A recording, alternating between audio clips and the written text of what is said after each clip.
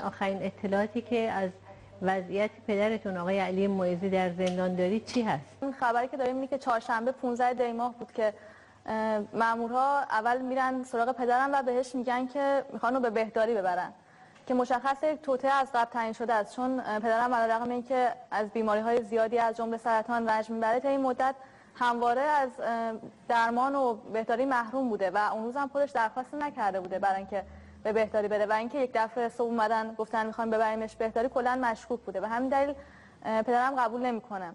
و بعد از اون ملاقات داشتم با خانوادهمون که بلافاصله بعد از ملاقات وقتی که می‌خواستن ببرن برگردن اونو مامورای اطلاعات توی همون زندان میدوزن و همین به زور با خودشون می‌برن که ما اطلاعی نداشتیم که توی این مدت کجا هست. ولی طبق آخرین چیزایی که منتشر شده و شنیدیم مثل اینکه گویا تو انفرادی های زندان اوین هست که ولی مامورای زندان یا اطلاعات یا سپاه پاسخی نمیدن سر اینکه الان تو چه وضعیتی هست و چه شرایطی داره که در واقع از وضعیتش فعلا بیخبر هستیم. حکمش در تموم شده بود ولی خب این اولین بار سال قبلم بود که حکم پدرم تموم شده بود و باید آزاد می‌شد. اما دوباره پرونده چینی کردن و پرونده ساختگی درست کردن و به حکمش اضافه کردن الان من خودم فکر می‌کنم بیشترین چیزی که می‌تونه باعث این توطئه جدید باشه ترس رژیم از مقاومت در زندان هاست.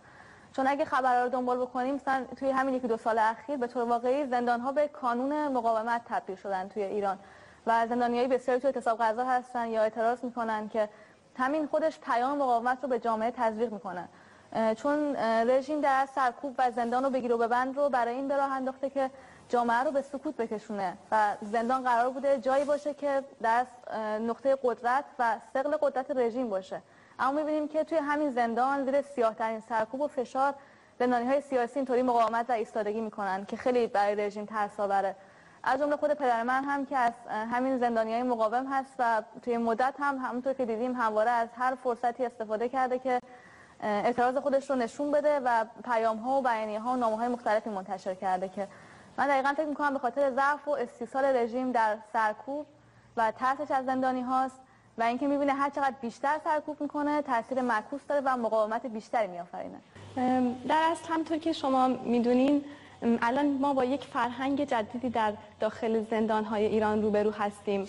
در اصل خب همواره این مقاومت در بین زندانیان سیاسی خب در ایران وجود داشته. از سال 60 و 67 همطور قتل عام هایی که از اون موقع صورت می گرفته ولی اخیرا همطور که شما می‌دونین در ایران یک موج جدیدی از در اصل اعتصاب غذاها و همطور که همه در جریان هستیم اعتراضات در داخل خود ایران و این شجاعت هایی که می‌بینیم از طرف زندانیان در بندمون که اینطور شجاعانه میان و پیام های مختلف ارسال می‌کنن قتل ها رو محکوم می‌کنن و در واقع با یک رویکرد تهاجمی در داخل زندان در مقابل رژیم ایستادگی می‌کنن در اصل یک فرهنگ جدیدی هست که در اصل همون اصل و آین خرمریم که در شعار, شعار می‌توان و باید متجلی میشه در اصل در بین زندانیان سیاسی در حال شگفتن هست.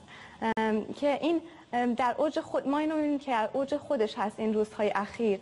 و همین باعث شده که رژیم هم در یک ترس بیفته که مجبور بشه در مقابل این اقدامات شجاعانه که از طرف زندانیان سیاسی انجام میشه یک سری اقدامات بکنه که اصلا واقعا هم هیچ در اصل جایگاهی نداره. چون مثلا این کارهایی که رژیم می‌کنه رو بودن افراد در داخل زندان یا اطلاع ندادن از وضعیت زندانیان برای مدت های طولانی که یا بدون اینکه حکم مشخصی صادر بشه یا دادگاهی اصلا شکل بگیره برای زندانیان اینطوری احکام صادر می‌کنه واقعا از ضعف و از زبونی رژیم هست. اما این تنها و تنها ماهیت رژیم رو افشا می‌کنه. ماهیت جنایتکارانه ای که داره و در از وضعیتی رو نشون میده که الان رژیم باش روبرو هست. از نظر سیاسی همطور که می‌دونیم ما پیروزی های بزرگی اخیرا کسب کردیم و مقاومت واقعا در اوج خودش این روزها قرار داره. بنابراین خب مجبور هست که دست بزنه به این واقعا جنایاتی که واقعا اصلا هیچ براش راهگشایی نداره و فقط و فقط اون حقارت خودش رو در این شرایط نشون میده که من فکر می‌کنم این وضعیتی که الان در زندان ها هست نشان، نشانگر یک شرایط و دوران جدیدی هست یک سرفصلی که ما رو همواره داره به پیروزی و اون روز رهایی مردم ایران نزدیک می‌کنه. اتفاقا به دلیل همین ماهیت جنایتکارانه رژیم و همین ضعفی که داره باید فشار رو روی رژیم حفظ کرد. چون توی شرایط خیلی فشار پذیر هست و ما هر چقدر که روشون فشار رو بیشتر بیاریم و می‌تونیم مانع بشیم از این جنایت های رژیم و روی تضعیف بیشتر رژیم تاثیر بذاریم.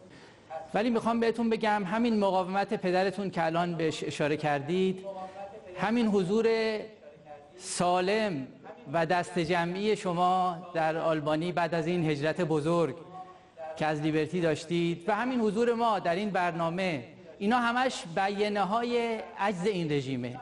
بیانه های گذار به یک دوران جدیده الان به درستی خواهرمون اشاره کرد. بیانه های اینه که این رژیم نتونسته برخلاف میل و خواست و ارادش این صدا رو خاموش کنه. الان ابتدای صحبتمون بحث فرهنگ مقاومت خط سرخ مقاومت بود. خب تجلیش همین کارهایی که علی معزی امروز تو زندان داره انجام میده. یعنی رژیم چطوری به عجز رسید؟ رژیم خب فهمید که خب مگه با علی سارمی چه کار کرد؟ مگه با محسن دکمشی چه کار کرد؟ مگه با غلامرضا خسروی و بقیه که الان اسمشون رو بردیم چه کار کرد؟ خب دوچار عجز شد. صدای همین علی سارمی که تا چند وقت پیش از همین سیما شنیدیم تو گوش هممون تنین انداز تنمگر بسوزی به تیرم بدوزی کجا کی توانی ربایی قلبم تو عشق میان من و میهن من عشق میان من و خلق من عشق این خلق عشق به این مقاومت عشق به راه و آرمانی که این رهبری همون اشاره کردین به آرمان خواهر مریم. اینه که ما رو این مقاومت رو این همیارا رو که امروز پای این سیما نشستن زنده نگه میداره. و من می‌خوام بگم واقعا من غرق غرور و افتخار و خیلی احساس خوبی دارم از اینکه واقعا می‌بینم که شما که اونجا هستید انگار که تمام نسل اون خواهرامون از خواهر خودم تا ده ها هزار خواهری که شهید شدن استوار جنگنده حاضر به یراق آماده سرنگونی آماده تحقق اون آرمان آزادی مردم ایران هستند و این برنامه چقدر واقعا برنامه خوبی از این بابت. فراتر از همه این کمک ها همیاری ها کمک های نقدی که خیلی ارزش داره ولی یک ارزش دیگه هست. این بدنه بزرگ این مقاومت هم در طول تاریخ چون ما بیانگر یک تاریخچه هستیم. از من و پدرتون که تو اون واقعا یادم نمیره. حالا اشاره زمانی خاطراتش هم براتون میگم. تو قزل تا امروز چجوری در طول تاریخ و در طول جغرافیا یعنی از داخل ایران تا استرالیا و کانادا و تا اینا رو به هم پیوند میده. و واقعا هیچ برنامه من فکر نمی کنم تو سیمای آزادی اینقدر این جوهر این مقاومت رو بتونه در تمامیتش بیان کنه. و از این بابت خیلی ممنونیم از دستن در کاران سیمای آزادی. همطور که شما گفتین این برنامه در از قلب های همه همه مبارزان برای آزادی و همینطور هر قلبی رو که برای آزادی ایران میتپه رو به هم پیوند میده. بنابراین این ارزش خیلی بزرگی داره جایگاه خیلی بزرگی داره. به خاطر اینکه آرمانمون رو به هم پیوند میده و همینطور که شما گفتین فرای اون کمک های مالی که از طرف هموطنان میشه این پیوند آرمانمون و در اصل اون هدف مشترکی که داریم در سر تا سر جهان و نه فقط در ایران بلکه در سر تا سر جهان همه رو به هم پیوند میده و یک انگیزه و یک روح جدیدی رو در تک تکمون ایجاد می‌کنه. بنابراین خیلی ارزش و جایگاه ویژه‌ای داره. و همینطور هم که باز شما اشاره کردین این وضعیتی که الان در زندان‌های رژیم هست فقط و فقط بیانه سرنگونی خود رژیم هست بیانه روز رهایی مردم ایران هست که خیلی خیلی نزدیک هست.